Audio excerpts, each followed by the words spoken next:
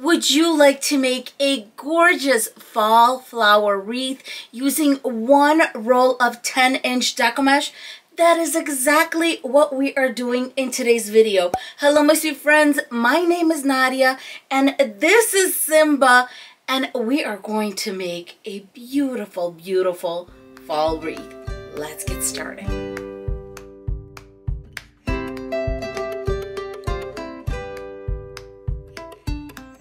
Let's go over the supplies for this wreath. I'm going to be using one roll of Deco mesh that is 10 inches in width and 10 yards in length. I'm going to use some felt to cover the back of the wreath. You will need 12 pipe cleaners and maybe a few more depending on whatever your centerpiece is. For my centerpiece, which is absolutely stunning, I love this sign. It's metal, has two holes at the top and the bottom to hang it and I'm going to use a black floral wire to attach it to our wreath base. To decorate my wreath, I'm going to use some of these maple leaves. They come in a pack of 50 at the Dollar Tree and they usually come in a variety of colors. Sometimes they're green, red, even gold sometimes depending on the pack you get. But you're going to need just a few so whatever you have on hand is going to do just fine. For ribbon, I'm going to be using this Grosgrain orange ribbon that's 5 eighths of an inch. You can get 5 eighths or smaller for this project. I recommend grabbing a ribbon that matches your deco mesh color and you'll see why in just a second. For our wreath base, we're using this metal bicycle wheel wreath, and this one is 14 and a half inches in diameter. Before we get started, I'm going to take the felt that I'm going to use to cover the back and prepare it because it's going to be easier to cut it out now than when the wreath is all done. Laying the wreath down, and yes, you are going to have another little section We'll take care of that later. But now I'm going to take an ink pen and just mark where to cut. I think this is going to be enough for the other side.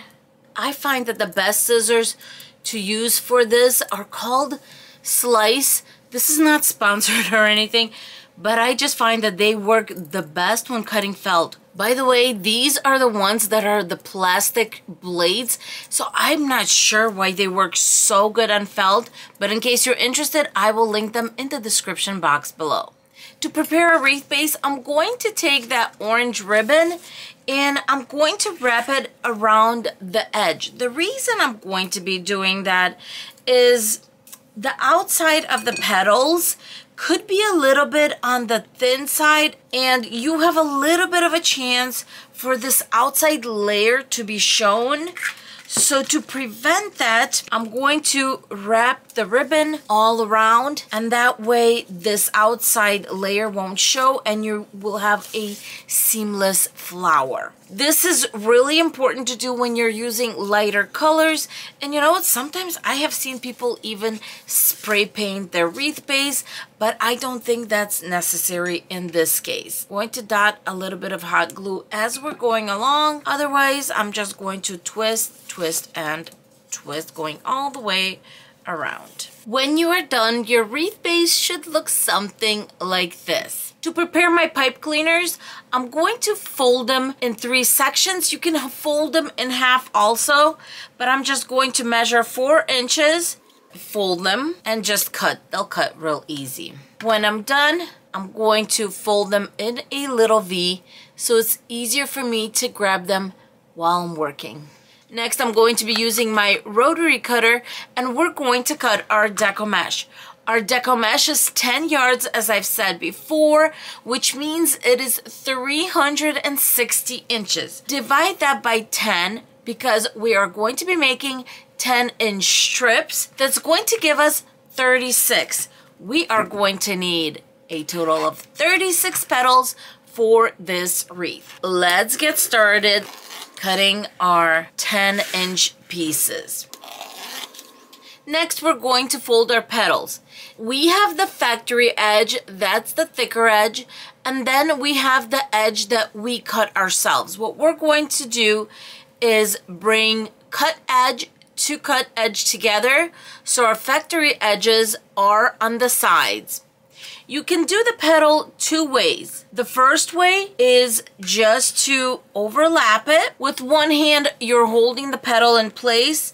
With the other one, you're bringing it together all the way in. Now you can decide whether you'd like your petal to be open like this or you would like to bring it in. I usually like to bring them in, so I'll pull on the side and with my other finger, I'll kind of pull it in so that we can bring this in. And I'm going to do the same thing here. Find that center and kind of push in the middle and then bring this in. And now you have a beautiful petal. Take my pipe cleaner. At this point, really make sure that you are pushing back on the petal so that you can get a nice seal with the pipe cleaner. Two twists. You are going to have some fraying going on at the tip. Just cut that off and smooth that out because you know that this part is solid and your petal is going nowhere. If you are having a hard time with your hands, maybe consider doing the petal the second way. We're still going to bring cut edge to cut edge, which means our factory edges are at the top and at the bottom. But when we do the top, what I'm going to do is grab a little clamp and clamp that together. Now we know it's secure and we're just going to start bringing it together. Maybe you're going to need both of your hands to bring it together. That's just fine because it is taken care of on top. So you can definitely do this, making sure you grab both rows. And if one of the rows slide like it did in this case, it's okay. We fix it and we move on. Going to take my clamp off. If you want to leave the petal like this, now it's time to put our pipe cleaner on, but I am going to round it off. So I'm going to pull and with another finger, I'm going to push back in the middle, bring that in. Same thing on this side and bring it in. Now the pipe cleaner, make sure you're pushing back as much as you can. Two twists or three. And now we're going to cut off anything that's fraying. My tail on here is usually three quarters to an inch. At this point, I'm going to go ahead and do the remaining petals. Let's use a clamp. And then we're going to be ready to bring our gorgeous flower together.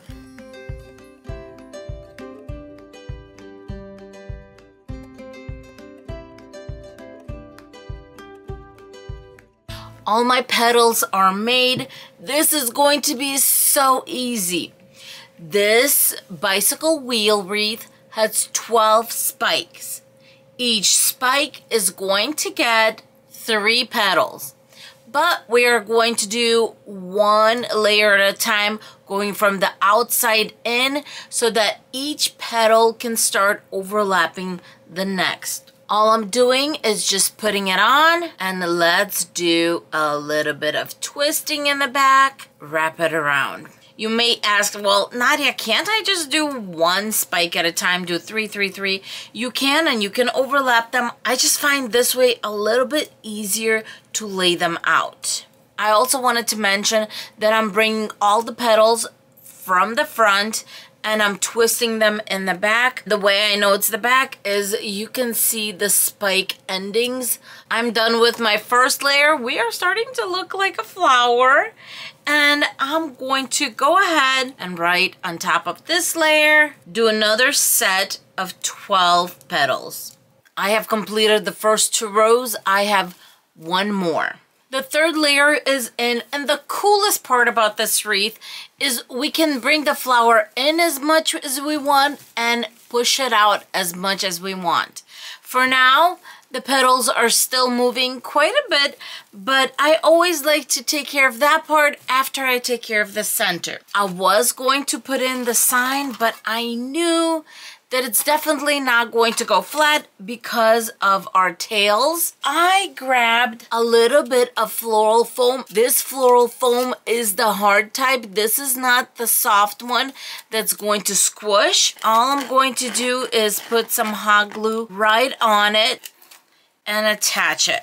It's going to give us a little bit of a lift from the center so that the sign is not squished back. Next, I'm going to grab the floral wire and I'm going to cut two pieces at about 20 inches each. Folding the floral wire in half, I always like to fold the thinner floral wire just to make sure that it's nice and secure. And two tight twists. When attaching the sign in the back, I'm going to wrap my floral wire around that third or that first from the inside pipe cleaner. This way the sign is going to be centered.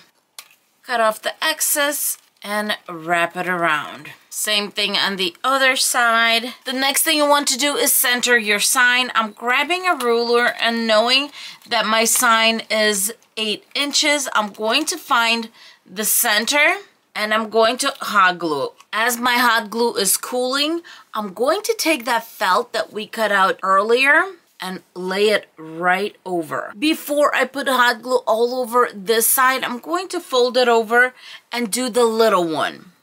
Hot gluing in place, a nice layer of hot glue right in the center to bring both of these pieces together.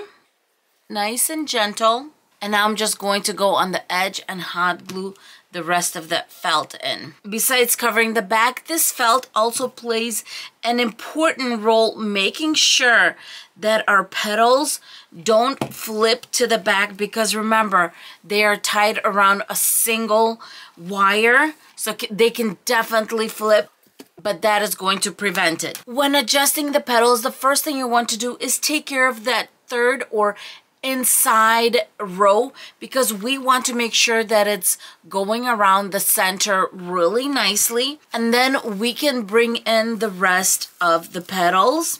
Usually when I do a floral wreath like this, I like to put greenery on the edges, but this time we're going to enhance this wreath just a little bit with a few little leaves and I'm not taking anything that's too contrasting. These are yellow ones. They will stand out just a little bit, but not too much. And I'm going to attach them throughout the wreath. Maybe you want to do every other petal. I'm kind of just laying them out how I think they should look to give it a little bit of softness. I'm going to stretch them out. And then I'm going to add some in between. I don't know about you, but this is giving me really beautiful fall vibes. So let me go ahead and attach these and I'm literally going to give it just a tiny bit of hot glue to do this. Let's do the opposite side and then work the others in the center. Once again, I started to embellish, thought I was going to put like six leaves and now I have a lot more, but I think it looks so elegant. It looks so beautiful. It looks like an extension of our centerpiece and I think it turned out stunning. When it comes to hanging the wreath, I'm going to just find my top. There is an area where I did not hot glue. I am going to put a jute cord through there and make a hanging loop. I'm going to send that nub to the back.